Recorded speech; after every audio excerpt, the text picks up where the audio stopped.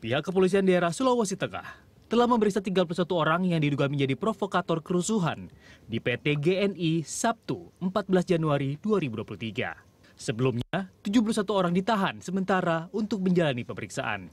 Menurut Kepala Bidang Humas Polda Sulawesi Tengah, 17 orang berpotensi jadi tersangka karena mereka terbukti melakukan pengerusakan di PT GNI. Dari 71 sudah dilakukan pemeriksaan sebanyak 31 orang. Kemudian 17 orang teridentifikasi mereka ikut atau terbukti melakukan uh, tindakan pengerusakan di uh, PT JNI kemarin. Pihak kepolisian menyebutkan tiga korban meninggal dunia. Satu dipastikan karyawan asing asal Cina, sementara dua lainnya masih dilakukan identifikasi.